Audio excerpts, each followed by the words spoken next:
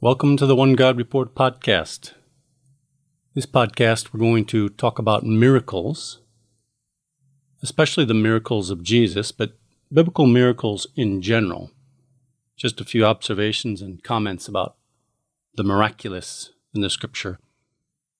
First, one of the main reasons for miracles, as described in the Bible, is to give evidence or confirmation that Yahweh, Jehovah, God, is involved in the affairs of man. And oftentimes, miracles accompany the spoken words of God, God through his prophet, and then a miraculous event occurs, which is confirmation that indeed it is the Almighty God speaking through that prophet. A couple of good examples of this would be, of course, the Exodus from Egypt, where a number of times the scriptures say that the events came upon Egypt so that both the Israelites and the Egyptians would know that Yud-He, Vav-He, Yahweh, Jehovah, is God. I'll just read a verse or two, Exodus chapter 7, verse 5.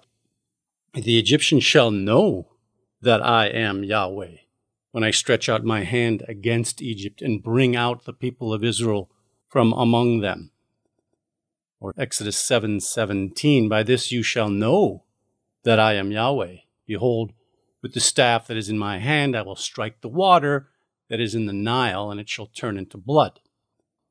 So the miracle was a confirmation that Yahweh was involved and that Yahweh was speaking, that this is God.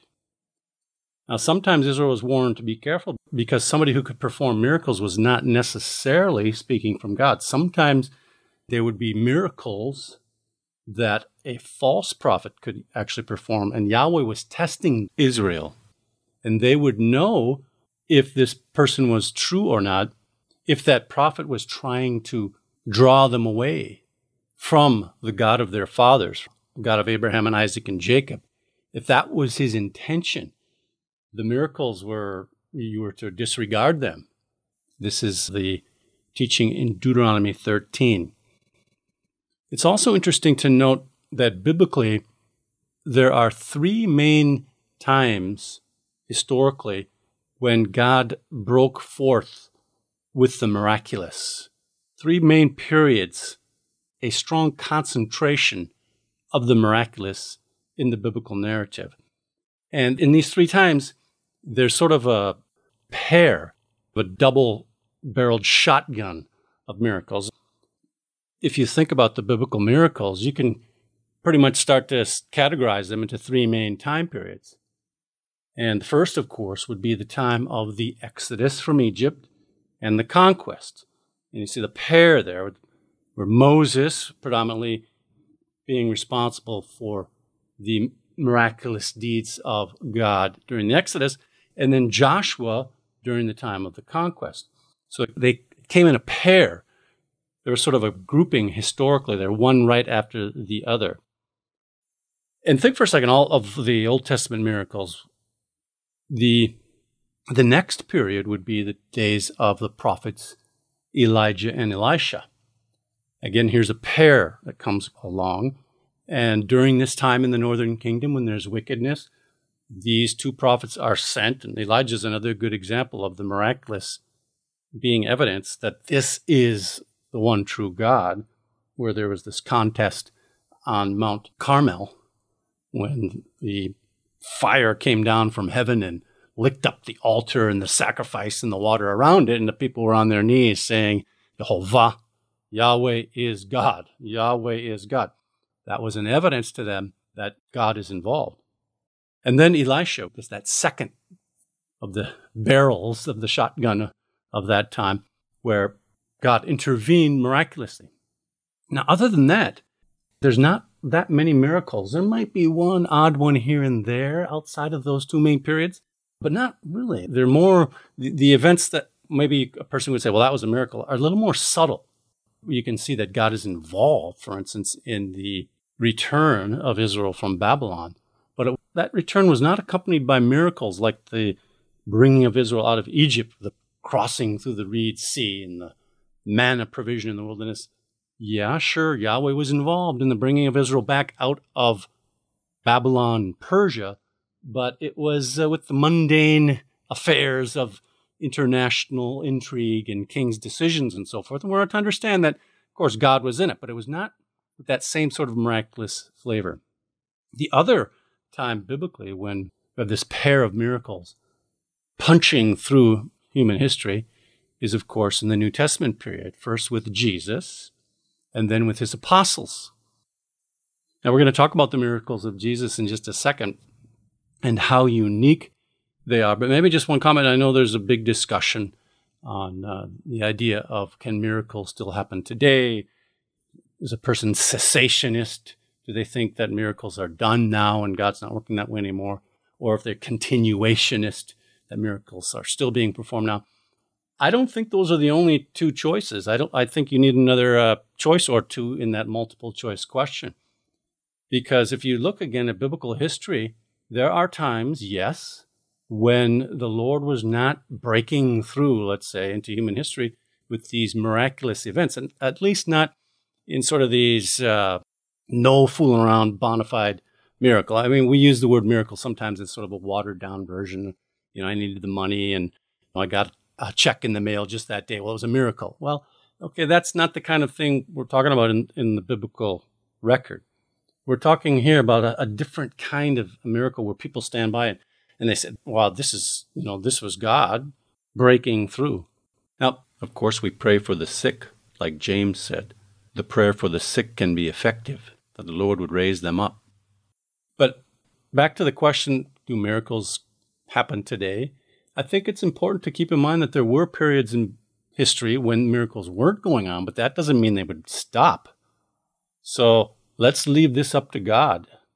If he at a certain period in man's history wants to break through again with the miraculous, maybe a prophet comes and is empowered by God to do a miracle, again, we have to be careful because is that prophet trying to draw us away from the one true God of the scriptures or not? That's the test. We might be tested with a false prophet and false miracles. If such a true prophet from God comes, he won't be preaching a multi personed Godhead. A multi person Godhead is not the God who brought Israel out of Egypt. The tri personal Christian God is a Roman Byzantine, actually Cappadocian God. But I oftentimes think what could happen in the, the Jewish world to get the average Jewish person to pay attention to the gospel again. Well, in the New Testament, it was the signs that Jesus did and then that the apostles did. Peter was, was able to raise a lame man. Paul was able to heal the lame as well. These got people's attention. And uh, like Paul says, the Jews seek a sign. So let's not uh, put this past the Lord if he wants to break through in the miraculous again.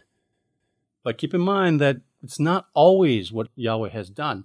And that's part of the nature of a miracle. I mean, how many times does God need to part the Reed Sea and bring a people through it for us to understand that this is Yahweh? How many times does he need to raise the Messiah from the dead? Does he need to do it every generation? No. That's the nature of the miraculous that makes us pay attention and say, wow, this must be God. So, to move on to the miracles of Jesus, as a bit of a springboard, I wanted to read a verse from John chapter 10. I think many Israeli or Jewish people would be surprised that the New Testament describes Jesus coming to Jerusalem for the Feast of Hanukkah or dedication. And it's interesting to see the question here that he's asked as he's walking in the temple precincts and the porticos of Solomon. And the Judeans come up to him, they gather around him, and they ask the question they say, How long will you keep us in suspense? If you are the Messiah, tell us plainly. So there's the question of is this one the Messiah? When you read through the book of John, that's really the main question. It's not is Jesus God or something like that. The question on the people's minds over and over again is is this the Messiah? And as a matter of fact, the author of the Gospel of John says that's the reason he wrote about the signs that Jesus did so that we would believe that Jesus is the Messiah, the Son of God, right? The title for the King of Israel. Not that we would believe that he is God. So the signs that are recorded in the Gospel of John are given so that we would believe that Jesus is the Messiah. And it's interesting to see Jesus' answer to their question there at Hanukkah. This is in verse 25 of John chapter 10. Jesus answered them, I told you, and you do not believe. The works that I do in my Father's name, they bear witness to me. So Jesus' answer is, yeah, he said that he's the Messiah, but the way that they could really know is by the works that Jesus did in his Father's name. Now, let's first of all make very clear that Jesus does not ever claim, and no apostle or no other New Testament writer ever claims that Jesus performed miracles because he was God. Quite to the contrary, Jesus and the apostles understood and proclaimed very clearly that Jesus did miracles by the authority and power given to him from God. Even in this verse, note that Jesus says, The works that I do in my Father's name, that is by the authority of the Father and also in agreement with the Father.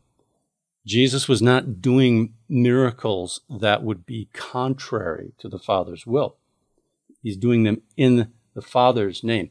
But you can see this idea that Jesus was able to do miracles not because he is God, as some Greek thinking Gentile might suggest, but because God was working through him and in him. As Peter declared in Acts chapter 2, verse 22, this famous Pentecost sermon, just 40 days after Jesus was raised from the dead, Peter says, Men of Israel, hear these words Jesus of Nazareth, a man attested to you by God with mighty works and wonders and signs that God did through him in your midst, as you yourselves know.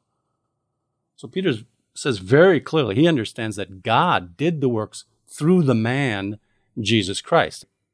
He makes a very similar statement again to the Gentile Cornelius, as recorded in Acts chapter 10, verse 38. Peter describes that God anointed Jesus of Nazareth with the Holy Spirit and with power.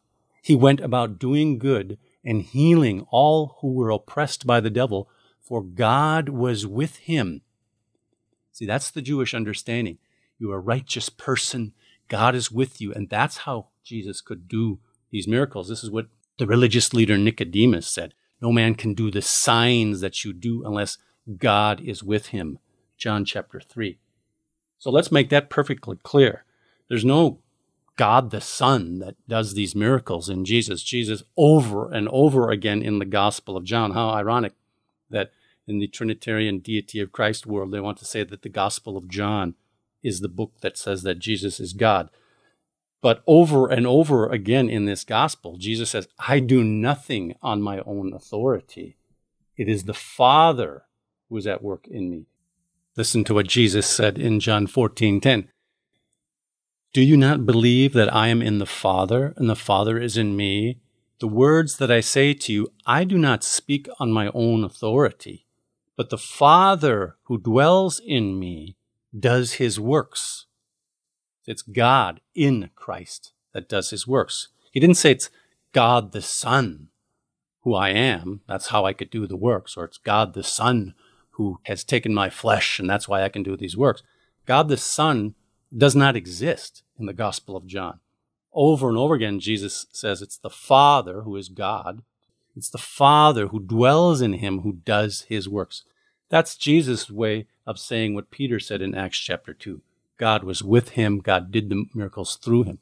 And by the way, it's very interesting to see really just about every single one of the miracles in the Bible. There may be an exception or two, but for just about every single one of the miracles in the Bible, there is a human being involved. The miracles that God did in Egypt and in the Exodus were through Moses or the miracles that God did during the time of the conquest, Joshua was involved. And of course, Elijah and Elisha, these are human beings involved in the miraculous. They're channels through which God is doing these miracles. And of course, Jesus is not an exception. It's through Jesus that God was doing these miracles. There's a certain uniqueness to the miracles that Jesus did. So let's talk about the uniqueness of the miracles of Jesus. When they asked Jesus here in John 10, Are you the Messiah? Jesus says, The works that I do in my Father's name bear witness about me. Meaning, take a look at the works, you can know that I'm the Messiah. This is how we can know if Jesus is the Messiah. Yes, by what he said, but also by what he did. Jesus points to the works that bear witness to his messiahship. And the, the works that Jesus did, the miracles that God did through him, were so unique, so grand, like nothing Israel nor anyone anywhere else on earth had ever seen before. After one of the miracles that Jesus did, the Israelites in the Galilee in Matthew 9, verse 33 says, Nothing like this has ever been seen in Israel before. Now, that's quite a statement because this is the people of Israel. They've seen miracles like parting the Reed Sea that Moses did, but they recognize that Jesus was unique. In John 15 24, Jesus said, If I had not done among them the works which no one else did. And another thing about the uniqueness of miracles of Jesus is the sheer volume of them. I Googled how many miracles are recorded in the New Testament. One source said there's 38 different miracles that Jesus did recorded in the New Testament. And then on top of that, there's many general statements like all the sick came to him and he healed them. So the uniqueness and the volume of miracles that Jesus did here, this is very striking and demands attention it's interesting to compare some of the Jewish sources of miracle workers that perhaps had come around at this time, but it's not even a comparison. There's one guy sometimes that is pointed to, he's called Honi the circle drawer, because when the land of Israel needed rain, he stood in the dry earth and drew a circle around him and prayed to God, saying, You know, I'm not leaving this circle until rain comes, and then it came. Now, this is recorded much later in the Talmud, but, but this is something totally different than the record that we have of the miracles that are recorded in the, in the New Testament done by, especially by Jesus. The miracles of Jesus are not that type or fashion. We have this record of healing lepers and the lame and the blind. See, there's nobody in the Old Testament, no prophet, that healed the blind or the lame. These miracles are reserved for the Messiah and the Messianic age. In the city of Jerusalem, the two miracles that are given much attention the Gospel of John, the healing of the lame man at the pool of Bethesda, and the healing of the blind man at the pool of Siloam. Blind and the lame, as the prophet Isaiah expected and promised. Chapter 35, verses 5 to 6 of Isaiah the blind receive their sight, the lame walk, lepers are cleansed, the deaf hear, the dead are raised up, and the poor have good news preached to them. This is what's going on with Jesus. And that was how Jesus answered the question of even John the Baptizer when John asks, Are you the one who is to come, or shall we look for another? Jesus quoted the prophet Isaiah. So, this is the evidence that Jesus is indeed the Messiah, the miraculous events that God does through him. Now, just note one other thing about Jesus' statement that these works that he did in his Father's name. These are not just random acts of the sensational, but they're intimately associated with the God who had revealed himself to ancient Israel. The miracles of Jesus were done not to draw people away from the God of Abraham, Isaac, and Jacob, or Moses and the ancient prophets. Rather, his words and deeds revealed and proclaimed the God of Israel, that you might know that Yahweh is God the works that Jesus did in the Father's name, these works were consistent with the character of God, our Father, the God of Abraham, Isaac, and Jacob. There is a consistency and expectancy from the Tanakh, from the Old Testament, that Jesus fulfills. Today, one strike against the claim that Jesus is Messiah is that he didn't bring peace on earth. We still have the sick. We still have wars. We still have injustice. But a couple of things to answer that effort to discredit Jesus. First of all, look at what Jesus did do, just like Jesus says. Is it wrong for the Messiah to have healed the lame, the blind, to have raised the dead, and to be raised from the dead himself? Secondly, let's keep in mind that man's expectations of what Messiah should do may not be correct. Our job description of who Messiah is may be subtly twisted. And the third point is it's fair to say, yes, Jesus has work yet to complete. But the signs that he did do on earth are samples, evidences that he can and will finish the job. He didn't just come and say, you know, when I come back the next time, I'll heal the sick and the lame, I'll heal the blind, I'll raise the dead. No. He gave us a sample, he gave us a taste so that we're able to analyze it and say, wow, this is the guy that's designated by God to bring in that kingdom of righteousness. Yes, the world will experience peace and righteousness. Israel will be regathered. And again, we have enough evidence to know that the raised from the dead, Jesus, the Messiah from Nazareth, is the designated king of that age to come. Now, one other point I'd like to make about the miracles of Jesus, and that is during the lifetime of Jesus, there were attempts to discredit his miracles. Some attributed his power to Satan. That is said outright. He's in league with Satan. And that's why he can do these works.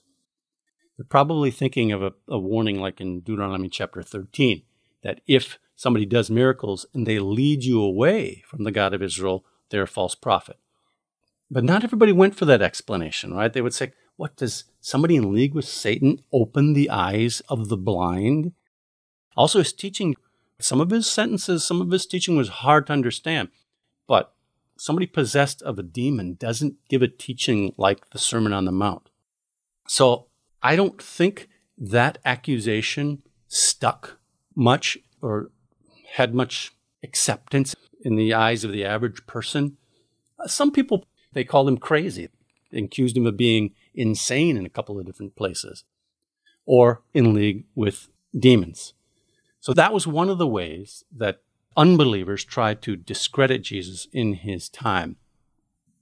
Another way that especially the religious leaders tried to discredit Jesus in the Gospels, you have the record of them coming up and asking for a sign, and we kind of went, "What are you, What are they looking for? Wow, look at all the miracles he's done." But I think that is because most of the miracles of Jesus were not done in the view of multitudes. This is characteristic the miracles that Jesus did. Even the resurrection of Jesus Christ from the dead did not appear to a lot of people. The situation that brings about is now others are going to be dependent on the testimony of a minority of eyewitnesses. So I don't think either of these efforts, one to claim he's in league with Satan, or two to just sort of ignore or discredit Jesus by saying, well, let's see something. Let, let, we're, we're standing right here. Do it now.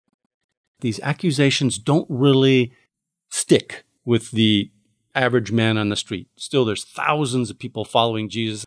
And at one point, after Jesus raised Lazarus from the dead, even the religious leaders, if they thought the miracle was real or not, they acknowledged, What are we to do? For this man performs many signs.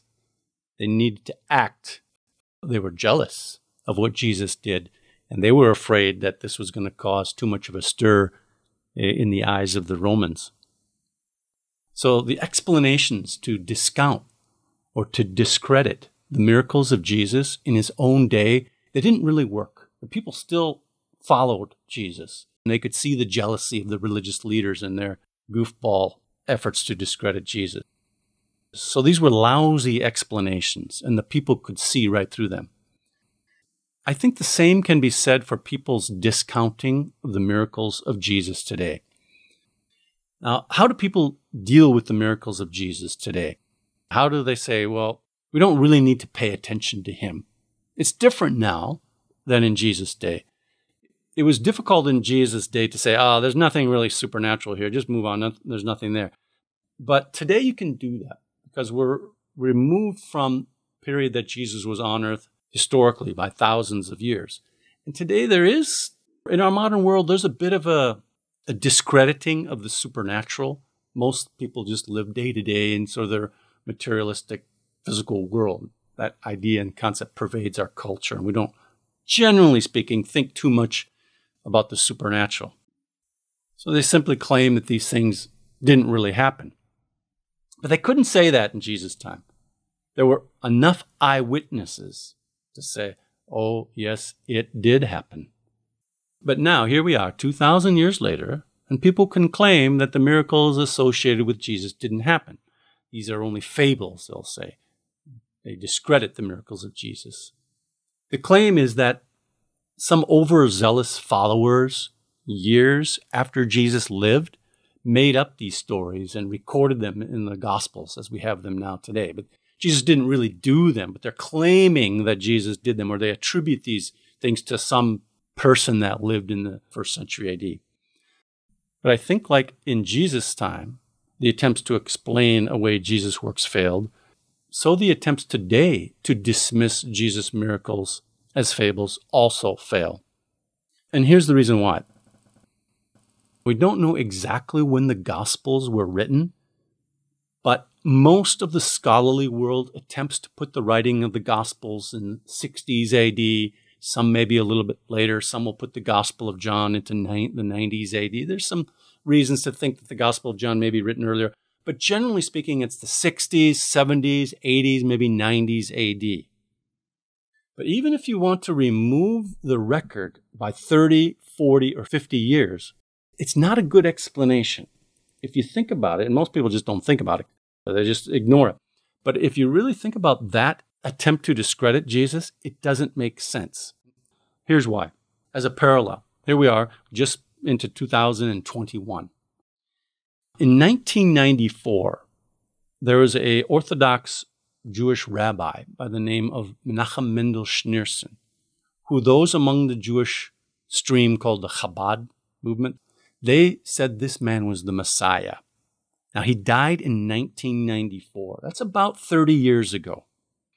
Now, let's say that maybe now, or maybe in 10 years, 20 years even, somebody writes a book. And in the book, the author claims that when Menachem Mendel Schneerson was alive in the 1980s and 1990s, over 30 years ago, that the Rabbi Schneerson had changed water into wine or that he had healed the lame, or that he had walked on water, or that he had healed the blind and the deaf. And not only that he raised others from the dead several times, but that he himself actually was raised from the dead three days after they had put him in the grave. Let's say somebody wrote that book now or in 10 years. Do you think people would believe it actually happened? That the record was accurate? That the story would take the answer is no. That story wouldn't stick. People today would realize no, these are made up stories. They wouldn't believe it. Why? Because here we are 30 years after Menachem Mendel Schneerson has died, and there are people who are alive that would know that this so called Schneerson gospel is a bunch of made up fables. You can't go out and find anyone who is an eyewitness to these claims the story wouldn't take. It's not going to be a story that a whole bunch of people would insist that this is true. It wouldn't be believed. And people would not give their lives to defend it. So, this is what those who want to discredit the miracles of Jesus say happened. They want to say that some 30 or 40, 50 years later, some conspiracy group of followers of Jesus got together and wrote a whole bunch of fables and stories about Jesus, miraculous things that he did. And then thousands of people believed it some 30 and 40, 50 years later. The theory is not logical. It doesn't make sense. We can see the holes in the theory. Like people in Jesus' day could see the holes trying to explain away the miracles of Jesus. Even so, now we would see, no, this is not right. Schneerson didn't do these things. Nobody's really going to believe it. And like I say, nobody's going to give their life for it, like happened with the apostles. These apostles were ready to give their life for this record.